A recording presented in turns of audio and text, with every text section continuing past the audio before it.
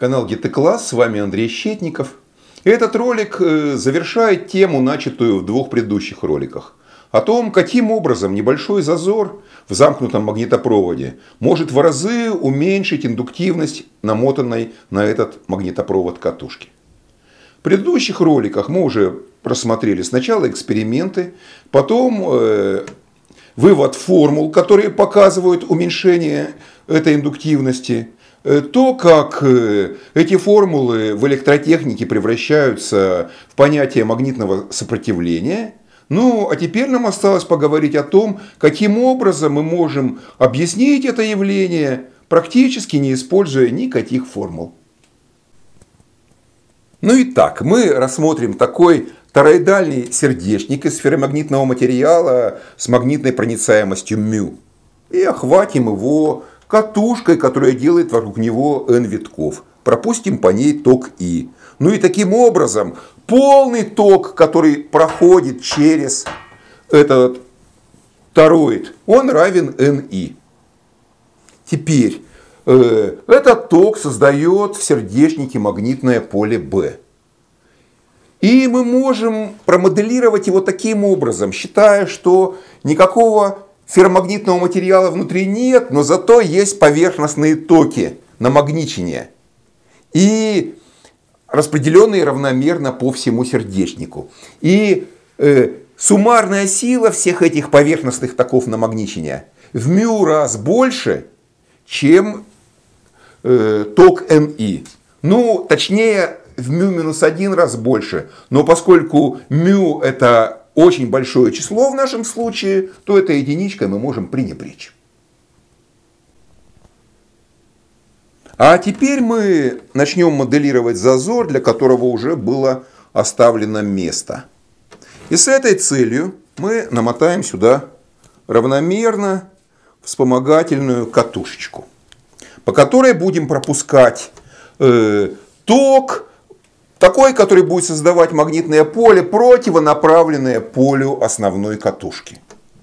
Ну и будем добиваться того, чтобы э, вот ток суммарный, который здесь пронзает э, тороид, я его обозначу буквой G, он сравнялся с, соответственно, током намагничения, опять же, в этой полосочке. Они будут противонаправлены, ну, соответственно, их сумма станет равной нулю, и э, фактически это и будет означать, что как бы вот все равно, что здесь никакого материала ферромагнетика не было. Никакого охватывающего тока вообще нет. Но тут есть одна важная тонкость. Мы как бы сравнивать будем этот ток не с, вот, с исходными токами намагничения, а с теми, которые получатся в результате этой операции. Посмотрите, мы вот этот ток от нуля постепенно увеличиваем. Поэтому вот такая величина полного этого внешнего тока, он у нас сначала был NI, а мы из него такое же вычитаем, она уменьшается. Ну и, соответственно, магнитное поле в этом сердечнике тоже уменьшается. Раз уменьшается магнитное поле, то уменьшаются и токи намагничения. И надо прийти нам к такой точке, когда вот эти уменьшающиеся токи намагничения, ну, полный ток намагничения в этой полосочке, сравняется с полным охватывающим током G. В этот момент они друг друга скомпенсируют, и это все равно, что здесь возник зазор ферромагнетики. Ну а теперь для закрепления мы рассмотрим такую специальную ситуацию, когда зазор в точности равен L делить на μ. Ну, здесь мы различия между μ и μ без единицы пренебрегаем, как уже было сказано в начале, поскольку μ это весьма большое число. Вот. Ну, в этой ситуации, смотрите, значит, здесь у меня протекал ток НИ, полный ток намагничивания был в μ раз больше – а соответственно, поскольку эта полосочка составляет одну мютую от полного вот этого охвата, то, соответственно, ток намагничения в этой полосочке сейчас тоже равен NI. Пока что. Мы в катушке еще никакого тока не включали. А теперь мы начинаем увеличивать ток в катушке. И посмотрите, когда он составит половину от NI, NI пополам сюда напишем, когда он составит половину, э, у нас э, охватывающий внешний ток это будет NI минус NI пополам, то есть тоже NI пополам. Ну, соответственно, магнитное поле уменьшится теперь в два раза. Раз магнитное поле уменьшится в два раза, то и ток на магничине уменьшится в два раза. Э, везде, и в частности, вот этот охватывающий ток на магничивание тоже уменьшится в два раза, станет равным n пополам.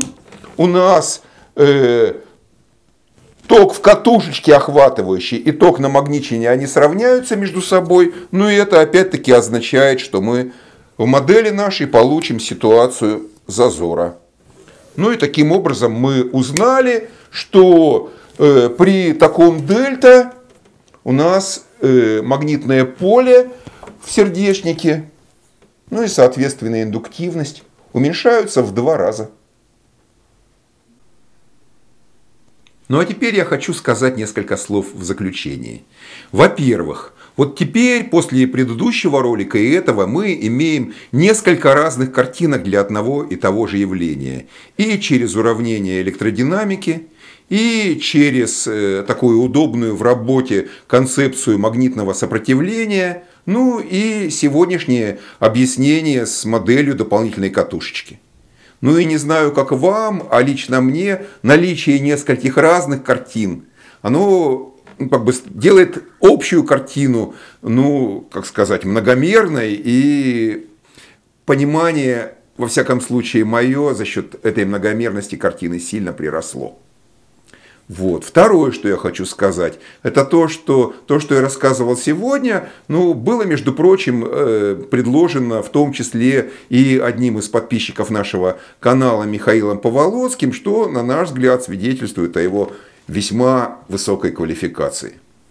Ну и еще, что я хочу сказать. У нас уже был когда-то ролик под названием «Магнитострикция», и там мы в конце задавали некий вопрос – на который мы тогда сами толком не умели отвечать. И, как мне кажется, и никто из подписчиков на него не ответил. Но вот думаю, что после этой серии роликов на тот вопрос мы все уже способны ответить. Так что я вам настоятельно рекомендую этот ролик магнитострикцию пересмотреть.